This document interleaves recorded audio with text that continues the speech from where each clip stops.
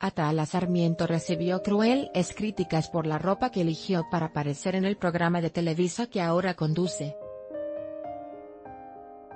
La conductora llevó unos leggings de cuero y un short, aunque resultaron ser dos prendas en una. También se puso zapatos rosas de tacón y una blusa rosa con olanes, cosa que le criticaron pues le escribieron que se viste como jovencita. Originales, distintos, como yo mi pantalón es una sola pieza. No son unos shorts con unos leggings debajo. Son unos jeans así, completos, raros, extremados, originales, distintos, muy como yo la ex conductora de televisión azteca, en el programa Ventaneando, y ahora nueva amiga de Juan José Origel, bloqueó los comentarios y escribió el mensaje. Con información de Soy Carmín, El Tiempo de México y Agencias.